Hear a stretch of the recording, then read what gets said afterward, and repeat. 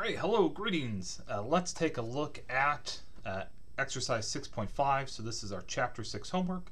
And so in our chapter 6 homework, we are continuing to build upon our friction factor code, which we started, I believe it was back in chapter 2 when we first introduced scripts.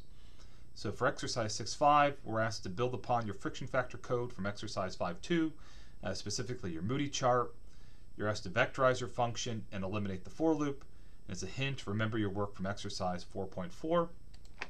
And then within the problem statement that I have posted on Canvas, right, there's not much here, um, but the suggestion is essentially just you know try and incorporate, use this as an opportunity to try and incorporate the skills that we learned in Chapter 6. And so the new skills that we learned in Chapter 6 is, is one, uh, vectorizing our functions. So the idea that our functions can take vector inputs uh, and return vector outputs, which shouldn't seem like much of an extension. Uh, and then two was this idea of putting multiple functions within a file.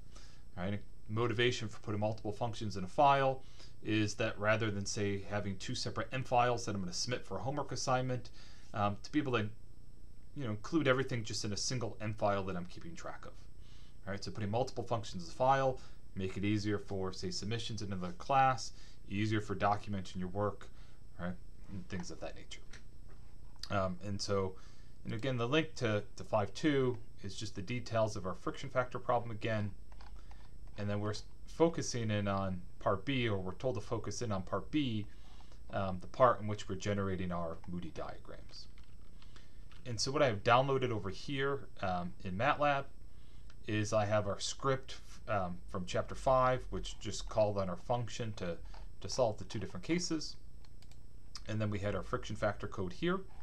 And so our friction factor code has its has as an input the Reynolds number of relative roughness and returns back uh, the friction factor. Okay. Cool. Um, and so the first part of this task uh, asks us to or challenges us to uh, vectorize our function so that I can eliminate this for loop that I had before my script. And so I'm going to do that first. I'm going to start by vectorizing my function, um, make sure that my script runs as normal.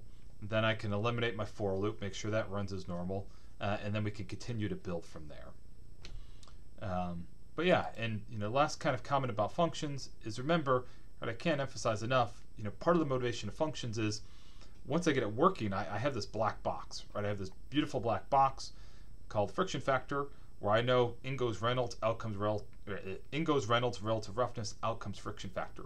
And so part of the beauty of this black box is one, I, I you know, have this ability to perform these calculations, but then it also simplifies my code, not just in terms of simplifying in terms of length, but simplifying in terms of making it very clear in terms of understanding the logic. Right? So when I see line 7 here, right, line 7, I'm calculating the friction factor for given Reynolds and relative roughness. Right? It's as simple as that. But anyways, first task is vectorizing the code. And so when I think about vectorizing the code, uh, I'm not thinking about linear algebra. So what I'm my approach then is I'm going to look at my function and I'm going to look for all cases of multiplication, division, and exponentiation, and I would convert those to element-wise operations. Um, such that if I do that for this function here, um, this should work where if I were to specify a Reynolds number in a vector of relative roughnesses, it would return back a vector of friction factors. Or if I provide a vector of Reynolds numbers and a relative roughness should return back a vector of uh, friction factors. So I'm just looking at my function and I'm going to try and identify uh, all cases of multiplication, division, and exponentiation, and I'm going to convert those to element-wise operations. Um, if there's an operation that I make element-wise that didn't need to be element-wise, that is okay. Okay, it'll work exactly the same. Okay? And so that's why I say I'm just looking for all so that I make sure I get the behavior that I want to get.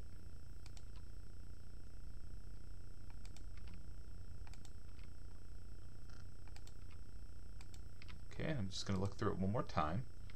And if I were to miss one, right, it would just flag an error for the case of a vector of Reynolds or relative roughnesses. and it would point me to where that error happened and I'd be able to come back and troubleshoot and fix. Okay, good. And so as my first test, okay, I'm just going to come over here and I'm going to run my function. Really, I should have ran it before I messed with it. Okay, but I just want to run. Okay, that looks like it's working correctly. Okay, my figure window pops up over here, right, and that looks like it's working correctly. Okay, good. So I didn't break anything. So then the next thing I want to look at is, um, let me actually rename this. I'm going to call this Chapter 6 homework. It's just, just so it doesn't cause any confusion uh, if I were to upload it. So the next thing I'm going to look at is it says, okay, now that we have this uh, vectorized code, can we eliminate our for loops and make this even more efficient? And so if I do that, I don't need to pre-size my vectors uh, f1 and f2 to store the two different cases of the friction factor. Okay, I don't need my for loop. Okay, and actually I'm just going to keep this commented out for now, and then we can delete it. But then the updated command would just look like, okay, I'm going to copy and paste. Okay, instead of having to point to a particular element of f1, I can just pass to it my entire vector of Reynolds numbers. And then I can do the same thing for F2. Okay, should be able to pass the entire vector of Reynolds and do the calculation for the entire case. I don't need to precise F1 and F2 right, because the calculation is going to result in a vector of friction factors. I'm not computing one scalar at a time, uh, and so there's no need to, to precise. So if I minimize, and save that, now if I run it, I get exactly the same thing. Um, and yeah, good. So I haven't broken anything.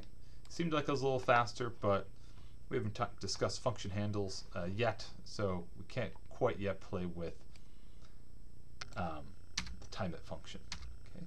So I'm just going to change this to computing. Okay. And that would be my script having eliminated the for loop. Okay. Cool. All right. So let's kind of continue to, to build upon this. Okay. And so as I build upon this, this friction factor code, I know it works, right? So I'm going to think of this as a as a black box. All right, in goes a Reynolds number and relative roughness, out comes friction factor, right? Or if I give it a vector Reynolds number and a relative roughness, out comes friction factor. Okay, so my goal is not to touch this. Um, what I want to touch, or what I want to begin to build up, is I want to begin to try to simplify this a little bit. Um, and what I want to do is I want to create a function um, where if I give it, uh, maybe I add a flag, um, or I, I, want to create a function that'll uh, generate uh, a plot of uh, friction factors. Um, and so yeah, right, because we said to, to focus on B. So again, I'm not messing with this, okay? But what I'm going to do is I'm going to create a new function, okay? And I'm going to call this one, uh, say, friction factor plot. Okay, And as I think about friction factor plot, right, it's going to look pretty pretty similar to this, right? I know that I'm going to create a uh, vector of Reynolds numbers. Okay, I'll need a relative roughness. So maybe if I'm thinking about the function, I'm going to want inputs of say, um, you know, my minimum Reynolds number, my maximum Reynolds number. If I want the number of data points, I, I could include that. I'm going to need uh, relative roughness okay, at least one relative roughness, and we can discuss how to look at multiple cases. Um, and then I wanted to generate the, the plot in, in format. Okay, can we do this? Yeah, of course we can. Um, so let's do it. So I'm going to generate this friction factor uh, function, and I'm going to start by writing a script. Okay, and so as I think about kind of what my preconditions might be, um, I mean, I guess the information for linspace we can get as a scalar or a, a vector. Um, we discussed taken as a, as a vector input. Um, so, so I'm going to have this, let me call it like RE range. So RE range is going to be a vector. Think of it as a vector where element 1 is the lower bound and 2 is the upper bound. Okay, cool. And you could even make it so that, you know, element 3, and let's do element 1's lower bound, two's the upper bound,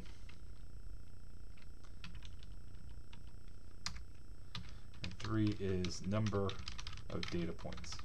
Okay, cool.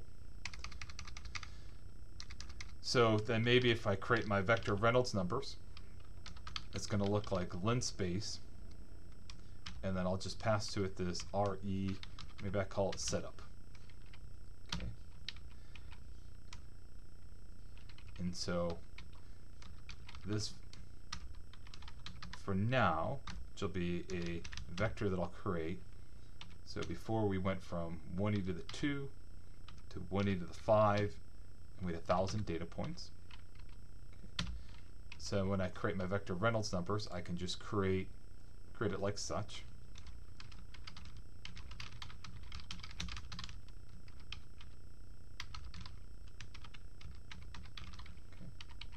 I guess you could just as well um, have modified this just to pass the, the, entire vectors of Reynolds numbers too, but but all's good.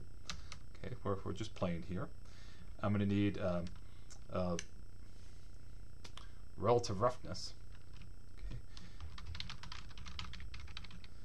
okay, and so I'm just going to define one. So what's on line 6 and then line 12 will eventually become inputs. And so let me just make this 0.1 for now. And then, so similar to defining Reynolds number of relative roughness, okay, I'm going to compute the friction factor.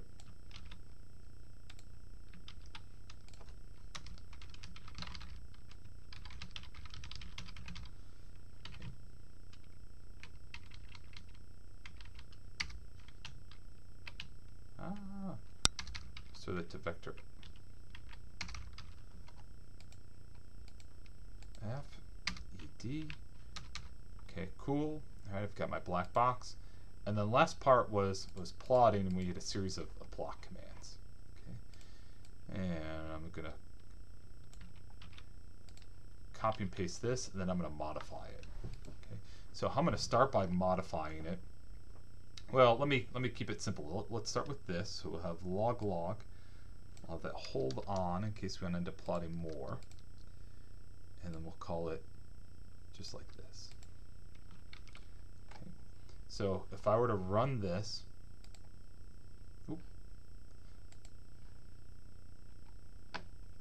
friction factor plot, doo -doo -doo. ah, it's because I, I passed the entire vector. What I need is, should be RE setup 1, 1, RE setup 2, and then RE setup 3. Okay. So this works, right? And I get a plot just like I did before. As I start to build this up and generalize it, the first thing I want to do is since ED, we're going to make that an input. I don't want to hard code the legend here um, with the specific value of ED.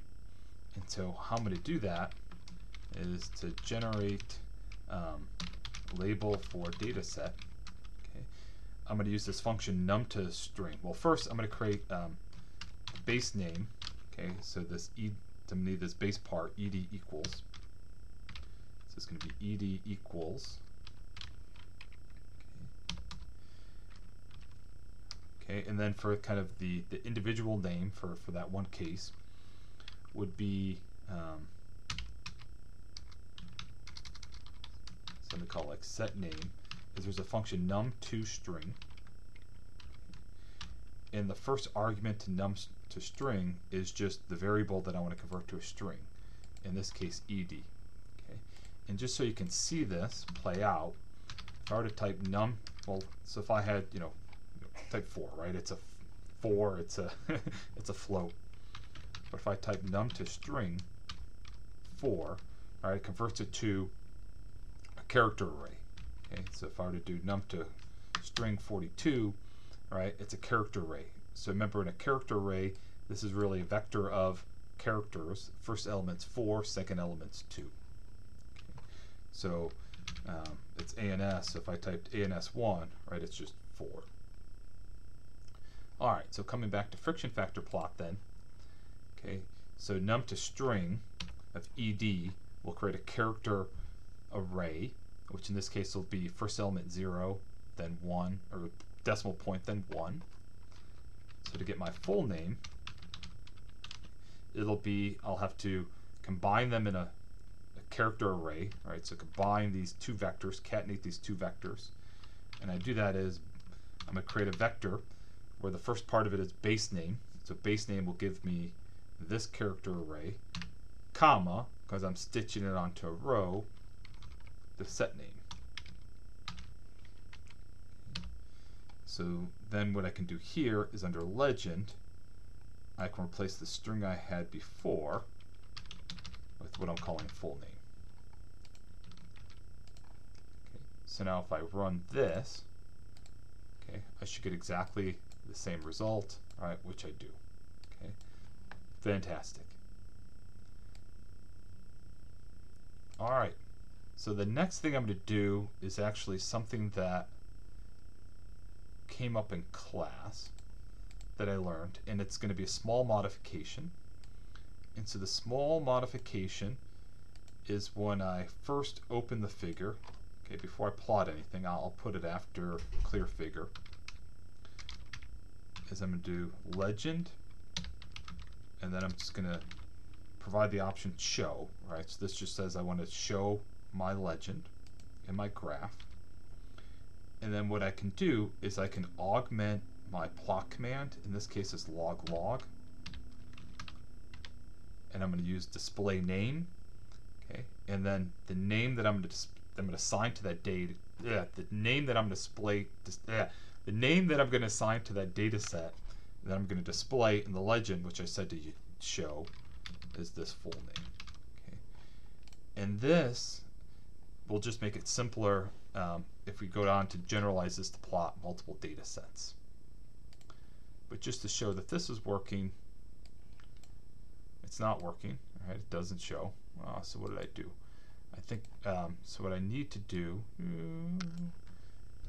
is I put it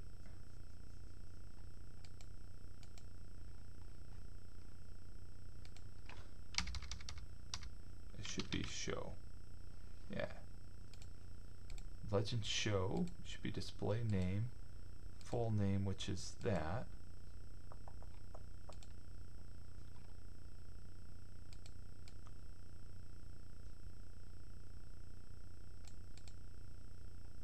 That should work.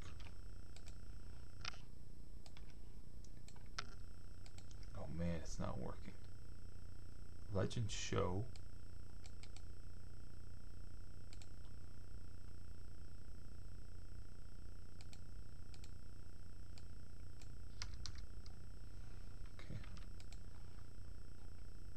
It's not the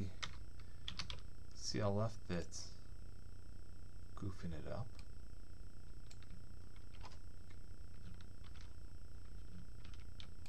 Boy, now I am puzzled as to why it's not working.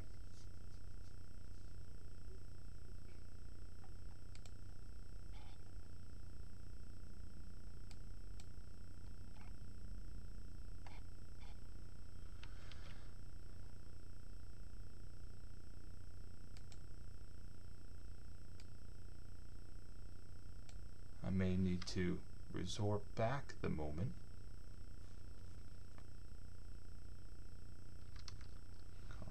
This should be fine still. Yeah, that just changes the color. Sorry, now I've got to troubleshoot on the fly. This should work. And I'm not sure what I did to break it. hold on needed to come after the log log.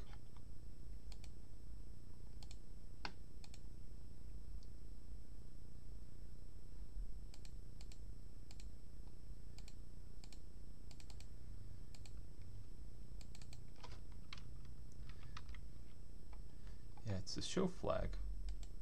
But um,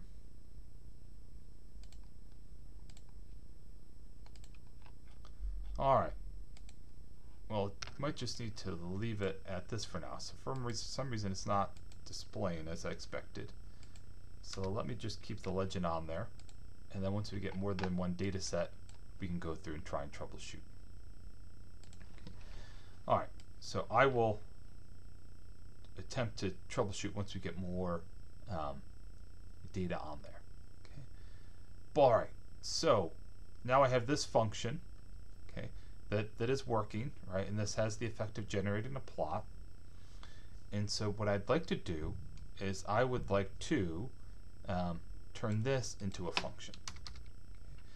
So I'm going to create a new function, um, and I'm not going to have an output at this point, but I'm going to call this friction factor plot. Okay, friction factor plot. I'll add the outputs there in a second. Put in my end, and I'm going to tab it in. And so then my inputs for friction factor plot is going to be this um, variable RE setup, in which I give my range of Reynolds numbers.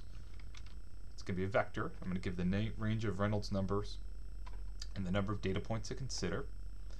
Um, I'll create my Reynolds number vector, and then I'm also going to input my, or provide my relative roughness as an input variable, so that'll be ed. And we'll start with just those two in terms of generalizing it. So as I think about my chapter 6 homework, okay, so this part is, you know, okay, well, so what I can do then is I can create a vector RE setup. And RE setup is, I'm just going to copy the elements here from linspace.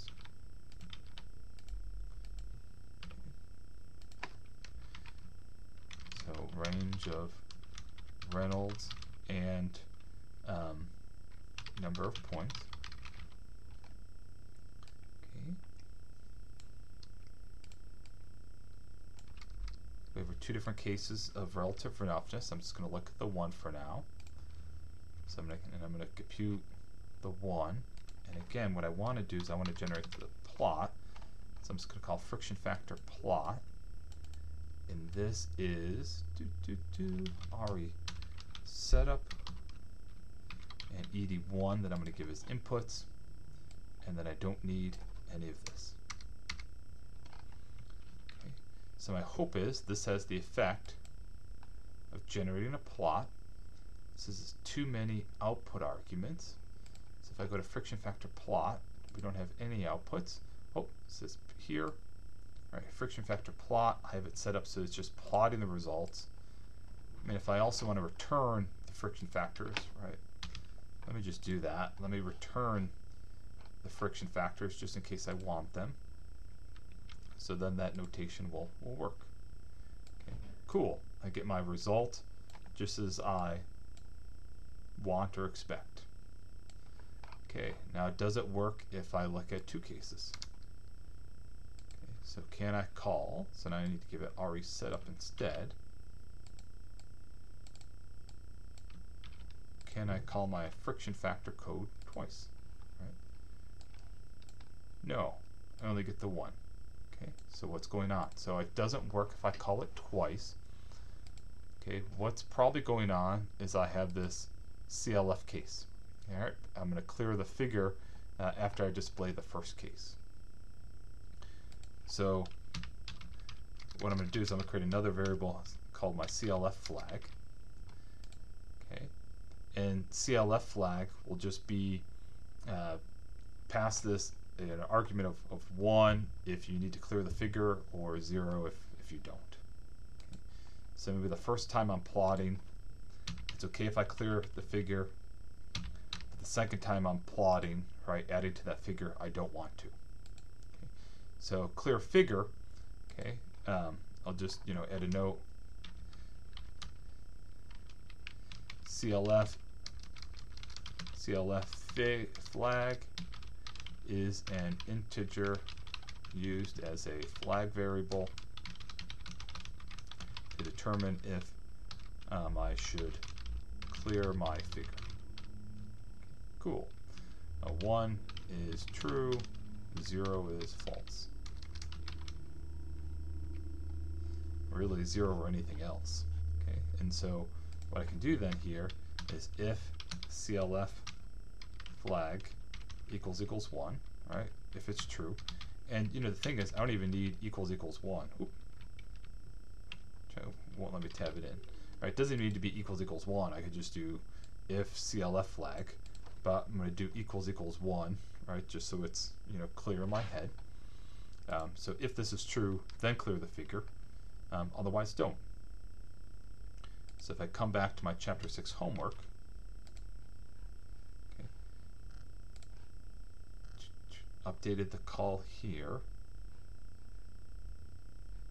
Oh, it's because this needs to call friction factor plot, which might have been the other part of my problem of why it wasn't plotting.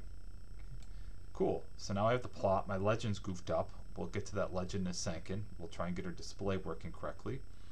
Um, but the color, right, the color would be more, be great if I could differentiate. And so what I might do for the color is here I'm specifying that it's black. Okay, let me not specify it's black. So what should happen as I run, it'll just cycle through the colors. All right, so blue, then red. But I've got to get this legend right. So the issue with the legend um, is, in this case, it won't. So first time through, I'm plotting data set one in figure one, and I'm saying, you know, use this as the name for set one. Then I plot a second set of data, but when I call my legend command, I'm just referencing still um, set one. So it should be that I, I'm actually puzzled why this isn't working. Okay, I'm to try again. Oh, so now when I have more than one set of data, this works. Okay, um, so let me do this then. Um, and so now it, it works, right? So what was puzzling me before?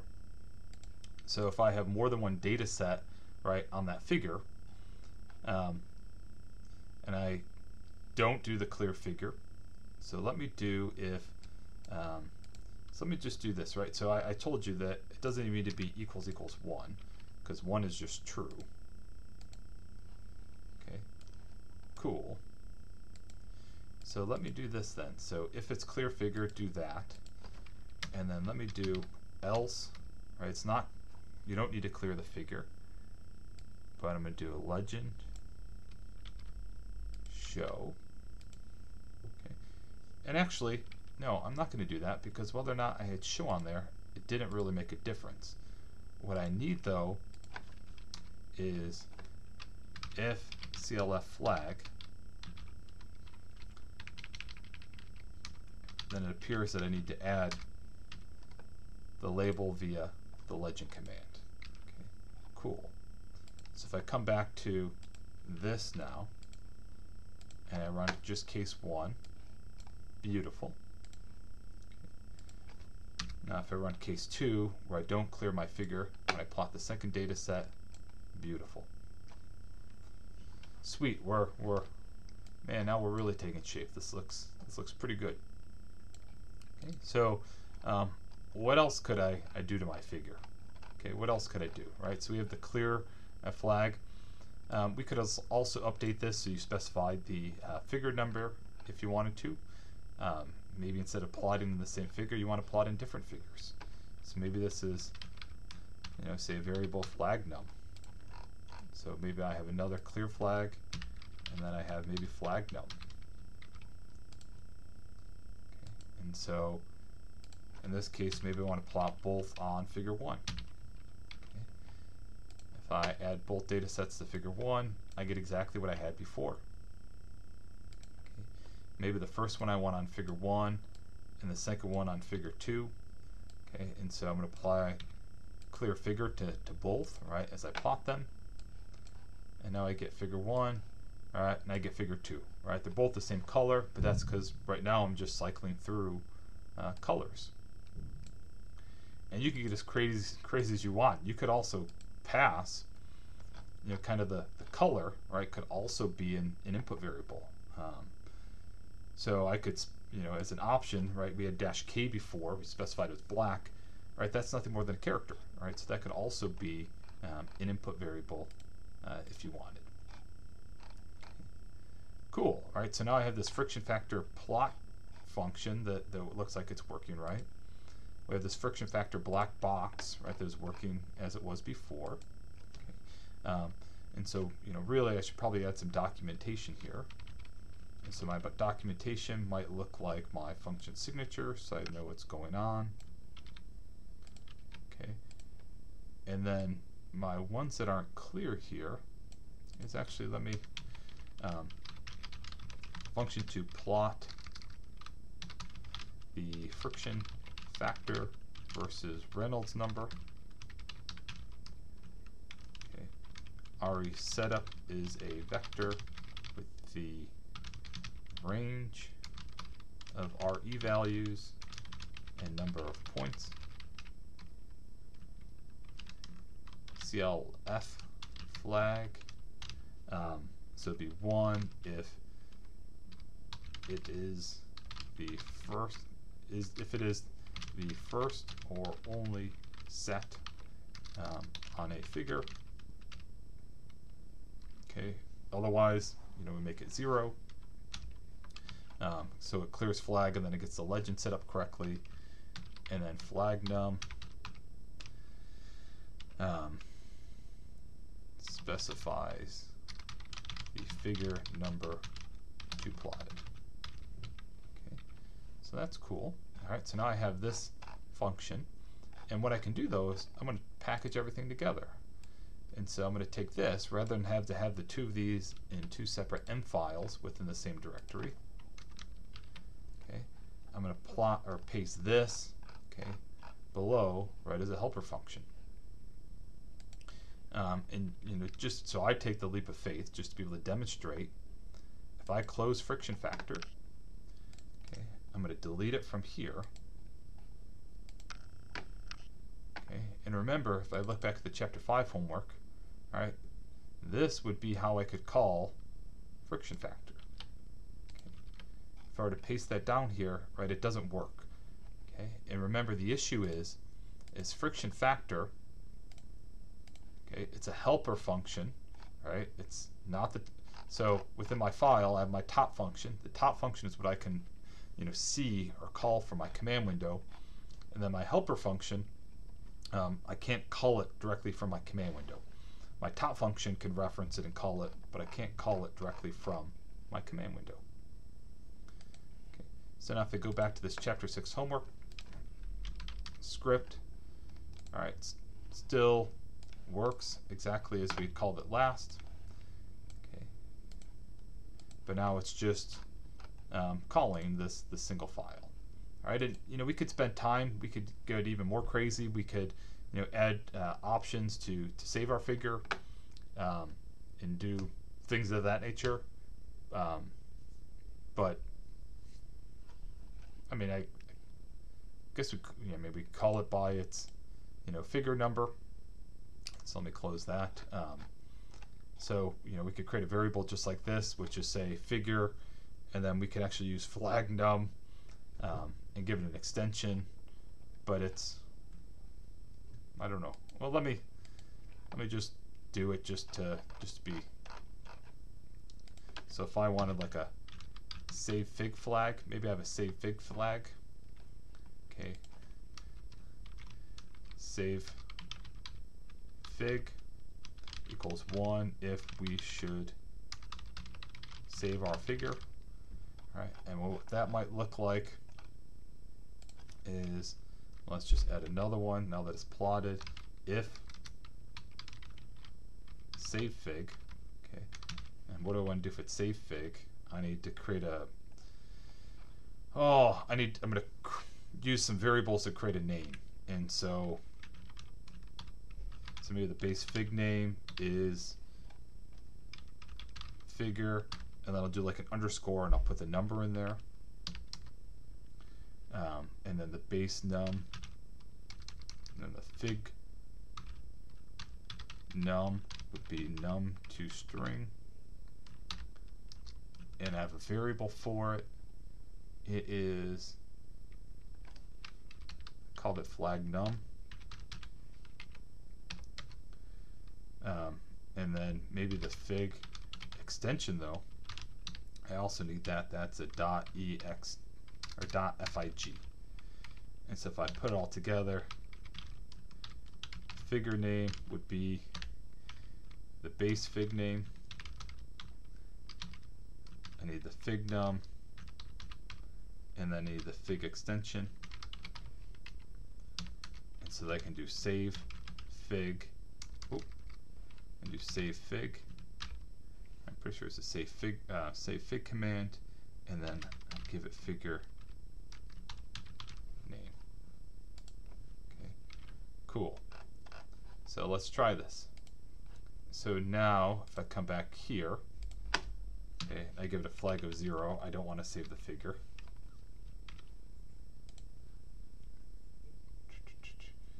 Too many inputs. Oh, I put save fig up in the signature, but I forgot to put save fig here.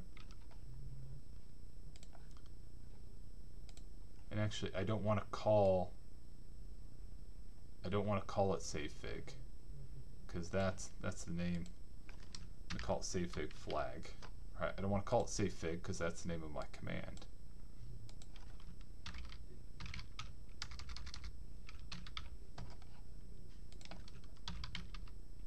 That's the name of the function, right? The command to save my figure. So I don't want to name my variable the same thing.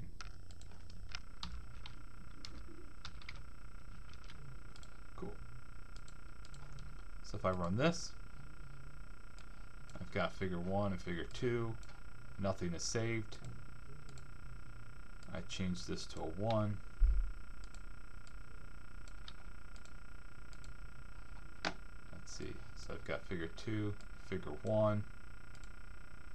And did it save? Yeah, look, I've got figure 1 right here. And I figure 2 dot fig right there. Look at that, automating naming them as well. Okay, cool. You could do the same thing. You could do like a print flag if you wanted to save them as, you know, PNGs or another format. You could do that. Okay, um, but yeah, so this is me packaging those two up. Okay, uh, this one's even nicer than in a class in terms of, um, you know, what we did with it. And you know, if you want to print, right, we could do something just like SaveFig, um, but we could print it as you know, and file extension could even be the user specifies the you know file or the figure type.